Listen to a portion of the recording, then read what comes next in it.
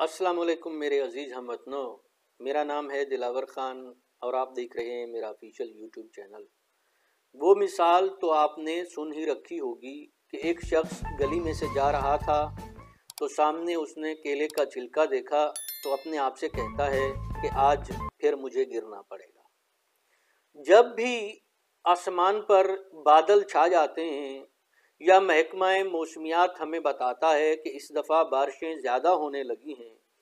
तो हम फिर एक खौफ में मुबतला हो जाते हैं कि इस बार फिर हम में से कई लोगों को अपनी ज़िंदगी से हाथ धोना पड़ेगा, या हम में से कई लोगों को पिछले सैलाब से लेकर अब तक हमने जो जमा पूंजी की है, वो ये बारिशें और इनसे पैदा होने वाला सैलाब, हमारी वो जमा पूंजी बहा कर ले जाएगा। और ये कोई नई कहानी नहीं है। हर कुछ अरसे के बाद ये कहानी अपने आप को दोहराती रहती है।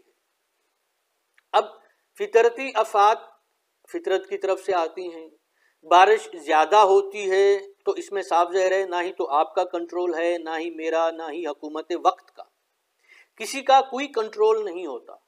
लेकिन सोचने की बात यह है, इस तरह की ज़्यादा बारिशें चीन में भी होती हैं। जापान की एक सादा सी मिसाल ले लीजिए कि जापान में जलजले बहुत आते हैं और बहुत ही ज़्यादा आते हैं। यानी कि कम जो होते हैं दर्जे के जलजले, वो तो बहुत ज़्यादा आते हैं और बड़े दर्जे के जलजले भी आते हैं।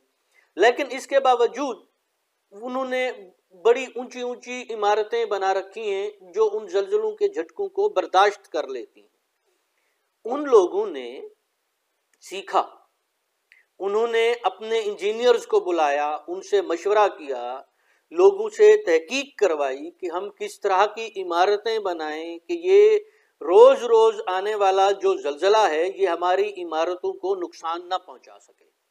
और वो इस तरह की इमारतें बनाते हैं कि जलजले जितने भी झटके आते हैं, उनकी इमारतों को कुछ नहीं होता।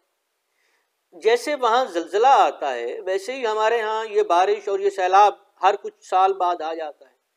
अब जो सबसे अहम सवाल है जो आपको सोचना चाहिए, मुझे सोचना चाहिए, यानी कि हमारे नुमाइंदों को सबसे पहले सोचना चाहिए, अगर वो नहीं सोच रहे हैं तो हमारे, हमें उनको मजबूर करना चाहिए सोचने के लिए कि भाई साहब, कोई ऐसी प्लानिंग कीजिए कि हर साल या चार पाँच साल बाद या दस साल बाद ये जो सैलाब आता है, हम इसमें क्यों बह जाते हैं?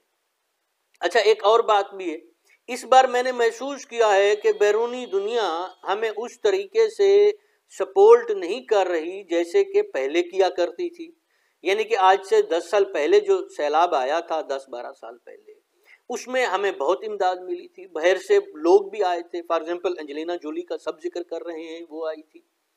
तो उस सैलाब में या उस इमदाद के साथ जो रवैया हम लोगों ने रखा उसका नतीजा ये है कि अब बैरूनी दुनिया हमें इमदाद देने को तैयार नहीं है उस तरीके से। क्यों? क्योंकि वो ये समझते हैं कि भाई साहब, हम ये पैसे, ये चीज़ें गरीब गुरबा के लिए या उन लोगों के लिए देते हैं जो जिन लोगों से उनका घर, उनकी ज़मीन, उनकी खुराक, इस सैलाब ने छीन ली हो ताकि उनकी मदद हो सके या दोबारा वो अपने पैरों पर खड़े हो सकें।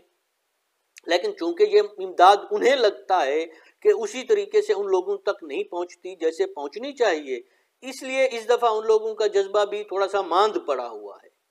अब यानी कि हमारे कई, वैसे देखा जाए तो हमारे, हम खुद पाकिस्तानी इस मामले में बहुत यानी कि क्या कहते हैं, सखी वाक़ हुए हैं।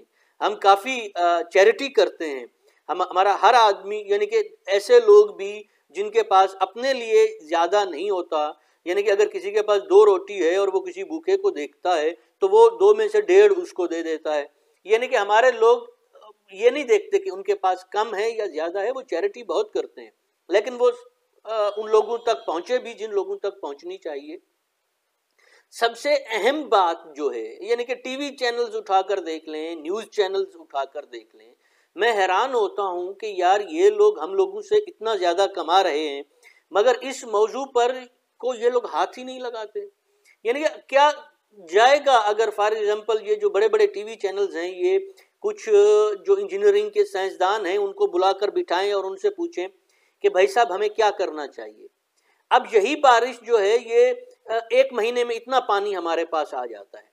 अब अगर हम थोड़ा सा अकलो शौर से काम लें, थोड़ी सी पेशबंदी करें, थोड़ा सा यानी कि इंतज़ाम करें तो यानी कि 11 महीने तो हम बूंद बूंद को तरसते हैं। एक महीने में इतना पानी आता है कि हम डूब जाते हैं। तो हम जो एक महीने में पानी आता है, इसको स्टेप्स के अंदर मुख्तलिफ़ इलाकों में स्टोर कर सकते हैं। सारा साल इससे हमें भी पानी मिलेगा, हमारी फ़सलें भी आबियार होंगी। फिर हम इस पानी को स्टोर करेंगे तो इससे हम बिजली पैदा कर सकते हैं, जो कि बहुत सस्ती पड़ेगी हमें। हम अपनी आवाम को दे सकते हैं। यानी कि इस तरीके के कई ऐसे मंसूबे बना सकते हैं जिससे यही बारिश, यही पानी जो हमें और हमारी जमा पूंजी को बहाकर लेकर जा रहा है, जो हमारे लिए आफत बना हुआ है, जहमत बना हुआ है, इसी को इस्तेमाल करके हम अपने लिए खुशहाली ला सकते हैं। मगर सवाल सिर्फ़ इतना सा है कि वो लोग जिनके पास ताकत है ऐसा करने की, वो इसको करने के लिए तैयार नहीं है। हमें और आपको मिलकर उन्हें मजबूर करना पड़ेगा। ये इश्यूज़ हैं उठाने के लिए। ये वो बातें हैं जिन पर गुफ्तगु होनी चाहिए। मगर मैं देखता हूँ कि कोई भी तैयार नहीं है। यानी कि हमारे पास इतनी बड़ी पार्लियामेंट है, इतनी बड़ी सेनेट है, उसमें ये लोग इस मौजू पर गुफ्तगु क्यों नहीं करते? क्यों नहीं? पार्लियामेंट में यानी कि आप, हमारे पास जितनी भी यूनिवर्सिटीज़ हैं, बाहर से बुलाने की ज़रूरत नहीं है। वहाँ पर इंजीनियरिंग के जितने भी प्रोफेसर हैं, उनको सुबह बुला लीजिए।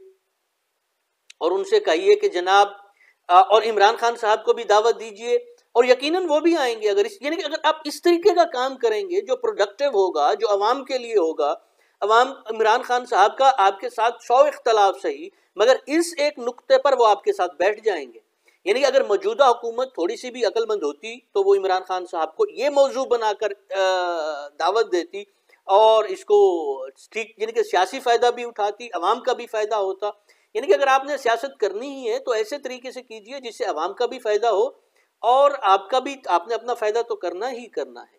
तो यानी कि वो पार्लियामेंट में बुला लें यूनिवर्सिटीज़ के प्रोफेसर्स को, इंजीनियरिंग के जो हैं, मैकेनिकल के, इलेक्ट्रिकल के सिविल के, और उनको यानी कि पचास साठ प्रोफेसर बड़े बड़े जो हैं उनको बुला लीजिए और पचास साठ जो हैं मुख्तलिफ़ यूनिवर्सिटीज से रैंडम इंजीनियरिंग के स्टूडेंट्स भी बुला लीजिए, क्योंकि स्टूडेंट्स जो हैं वो आपको out of the box solution देते हैं।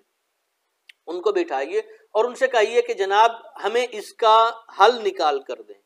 आप सुबह से शाम तक इस मौजू पर बहस कीजिए, एक दिन, दो दिन, तीन दिन, आपके पास इसका ऐसा हल आ जाएगा कि हर साल ये जो पानी आकर सब कुछ बहा कर ले जाता है, ये जो आफत है, इसको हम अपनी खुशहाली के लिए इस्तेमाल कर सकेंगे। अगर आपको मेरा ये विलाग अच्छा लगा, लाइक कीजिए, खुश रहिए, खुश रखिए, खुदा हाफिज़।